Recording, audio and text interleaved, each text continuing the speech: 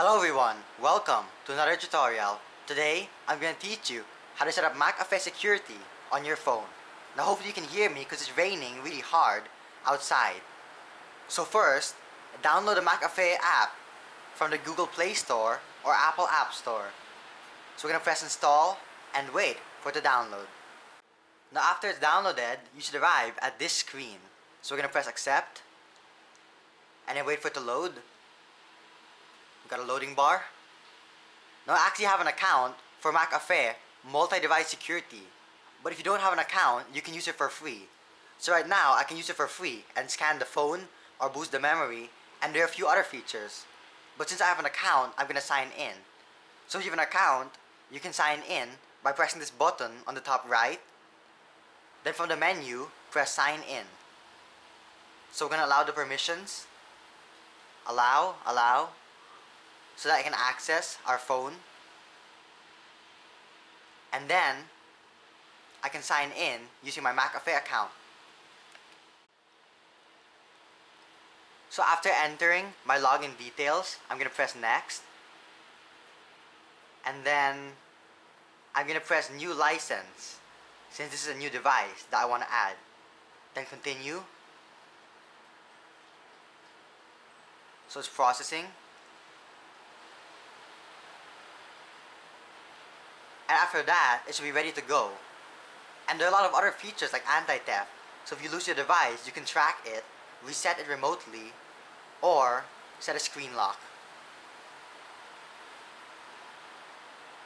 Okay, create your Mac McAfee security pin. So this pin only works for the app on this phone. So for now, I'm just gonna put it 000 000. This is just a temporary pin. Next, registration successful. Okay, so now we have all the features of McAfee. And as you can see, there are a few notifications over here. So we gotta turn on the security features. So we'll give you options. So here we have McAfee. So we're gonna turn it on. Allow. So as you can see, the notifications have some suggestions like protect your device from hackers, turn off USB debugging mode. So we're gonna do that and turn off the developer options. So it will make the phone more secure. Help us protect you 24-7 so the app needs to run the background. Okay. It's not available, so we need to turn on some permissions. App permissions. We're gonna allow access so that I can actually scan the files and have the location if the phone gets lost. So that should work. App usage permission. Usage access. So we're gonna go to McAfee, permit, and then this will vary for phone, but this phone has a warning. So we're gonna check that box and press OK. And theft protection. So activate the device admin app. And then we gotta wait for a few seconds. This is a warning showing that it can erase all data. But this is necessary since you can actually erase the data remotely if you lose your phone. So it's a pretty good feature. So theft protection is on.